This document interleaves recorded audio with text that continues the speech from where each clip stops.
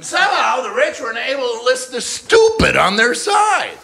How did this happen? So now you got the heartless pummeling the spineless, cheered on by the clueless. yeah, but if you give rich people money, they'll create jobs. Yes, they will. In China. But at $5 a gallon, that commute's gonna be a bitch. Not one Republican voted for health care. Not one. That's not a party, that's the Borg. Resistance is futile.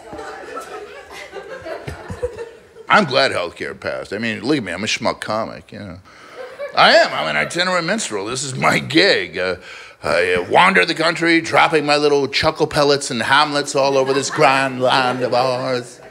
It's not like I'm employed by the city of San Francisco or the Marsh. It's not like I belong to the Comics, Clowns, and Jesters Union. I'm not a member of Congress, so I'm glad. Two, three, four. I'll just stop where the laugh should have been.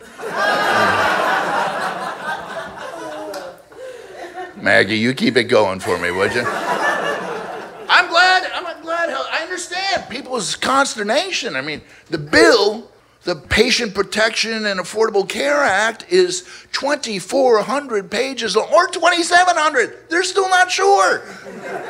Shouldn't you be sure? A lot of shit can happen in 300 pages. I've read Harry Potter. Still think the third book was the best. For Christ's sake, he kills Voldemort in the last book by talking him to death. I mean, she... Sorry.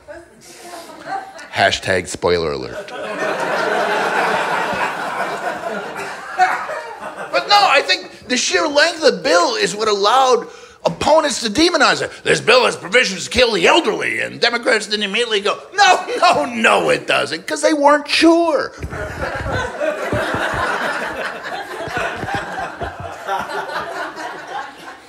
the guy holding the sign, stop socializing America and hands off my Medicare. Dude.